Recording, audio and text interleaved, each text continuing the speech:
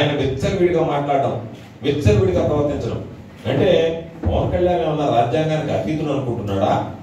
మా మంత్రుల మీద దాడి చేసిన తర్వాత వాళ్ళ మీద చేయడం కేవలం మంత్రి అనేటువంటి వాళ్ళకే రక్షణ లేకపోతే రేపు నీ ప్రభుత్వం ఏర్పడితే సామాన్యుడికి రక్షణ కల్పించగలమనేటువంటి భరోసా నువ్వు ఇవ్వగలవా?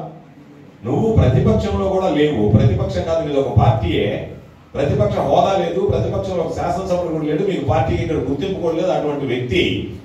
ఈరోజు ఏమీ లేకుండానే నువ్వు కేవలం నేరుగా నీకు ఉండేటువంటి పిల్లగానే కొంతమందిని పంపించి మంత్రుల మీద దాడులు చేయించి మరలా నాకు సంబంధం లేదు ఆ దాడిలో అని ఒకరోజు చెప్పి మరలా ఆ దాడికి సంబంధించినటువంటి వాళ్ళని పోయి కలిసి అంటే ఈ కుట్రలో నువ్వు భాగస్వామ్యం కాదా?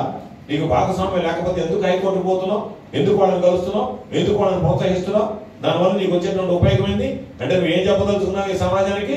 విచ్చలవిడిగా మీరు ప్రవర్తించండి ఎవరు మీరు కొట్టండి తన్నండి అని చెప్పినటువంటి ఆ సందేశాన్ని సమాజానికి ఇవ్వాలనుకునేటువంటి ఆలోచన చేస్తున్నావా? వాళ్ళ మీద చర్యలు తీసుకోవాల్సినటువంటి అవసరం లేదా? పవన్ కళ్యాణ్ కానీ పవన్ కళ్యాణ్ ఏ జబ్బు వచ్చినా సరే విడిచిపెడతామా? ఎవరన్నా పొరపాటు చేసినటువంటి వాళ్ళని? ఎందుకు విడిచిపెడతాం? ఏం పవన్ కళ్యాణ్ ఏమన్నా నువ్వు చేస్తే మాత్రం నిన్ను ఎందుకు విడిచిపెడతాం? ఏమన్నా నువ్వేమన్నా అతీతుడివా రాజ్యాంగానికి?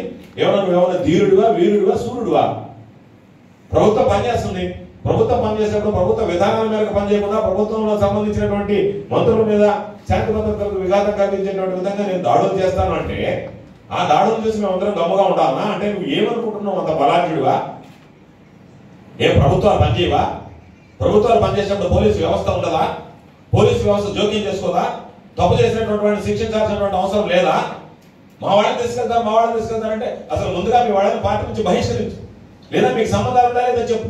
లేదా నేనే నేను అనుకున్నానని చెప్పి ధైర్యంగా చెప్పగలిగితే చెప్పు. నేనే పంపించాను నేనే ప్రోత్సహిస్తున్నానని చెప్పి ఏమీ చేయలేక అటు కాకుండా ఇటు కాకుండా నువ్వు అటు చెప్పలేక ఇటు చెప్పలేక రెండు రకాలైనటువంటి రెండు కళ్ళ ధోరణితో మాట్లాడుతూ ఏం నిన్ను మాత్రం దాడి చేస్తే విడిచిపెడతామే? ఉన్నాను ఏమన్నా రాజ్యాంగానికి అతీతులు అనుకుంటున్నావా? మా వాళ్ళని విడిచిపెట్టకపోతే పరిణామాలు తీవ్రంగా ఉంటాయంటే నువ్వు మాత్రం తప్పు చేసి చూడు. ఏ పరిణామాలు తీవ్రంగా ఉంటాయో నీకే తెలిసి వస్తుంది. కాబట్టి ఒక స్థాయిలో ఉండేటువంటి వ్యక్తి ఈ రాష్ట్రంలో పాపం ఒక ప్రజాదరణ లేకపోవచ్చు. కానీ రాష్ట్రంలో ప్రజాదరణ కోసం ముఖ్యమంత్రి కావాలని పగటి కళ్ళుకుంటూ పార్టీ పెట్టినటువంటి వ్యక్తి ఆ స్థాయిలో ప్రవర్తించాల్సినటువంటి అవసరం ఉంటుంది. ఆ స్థాయిలో ప్రవర్తించకుండా ఈరోజు ఏదో ఒక విధంగా చిల్లర మనుషులాగా చిల్లర వ్యవహారం ప్యాకేజీ వ్యవహారాలు అనేటువంటి అన్నింటిలో నడపడం అనేటువంటిది ఈరోజు ఇప్పటికే ప్యాకేజీల పవన్ పర్సంటేజీల పవన్ అనేటువంటి పరిస్థితులు నువ్వు దిగజారిపోయావు. కాబట్టి నీ ఆలోచన ధోరణి ఎట్లా ఉందంటే చంద్రబాబు నాయుడు స్క్రిప్ట్ దాని తర్వాత వాళ్ళ డైరెక్షను నీ యాక్షన్ అన్నట్టుగా ఉంది తప్ప వేరుగా లేదు.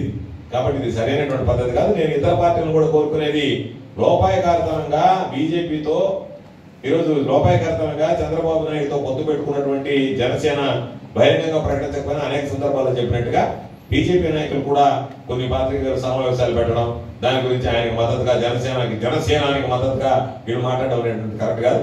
నూటికి నూరు పాళ్ళు చంద్రబాబు నాయుడికి దత్తపుత్రుడే. సుపుత్రుడి మీద నమ్మకం లేదు కాబట్టి దత్తపుత్రుడి మీద ఆశలు పెట్టుకున్నాడు. దత్తపుత్రుడు పాపం ఆ ఆశయాలను నెరవేర్చడానికి చిత్తశుద్ధితో ప్రయత్నం చేస్తున్నాడు. దానివల్ల ప్రజల్లో మరింత పత్తనటువంటి పరిస్థితి ఉంది కాబట్టి దయచేసి ఇప్పటికైనా బుద్ధి తెచ్చుకొని ఒళ్ళు దగ్గర పెట్టుకొని నోరు అదుపులో పెట్టుకొని మాట్లాడితే మంచిదని చెప్పి పవన్ కళ్యాణ్ నేను విజ్ఞప్తి చేస్తున్నాను.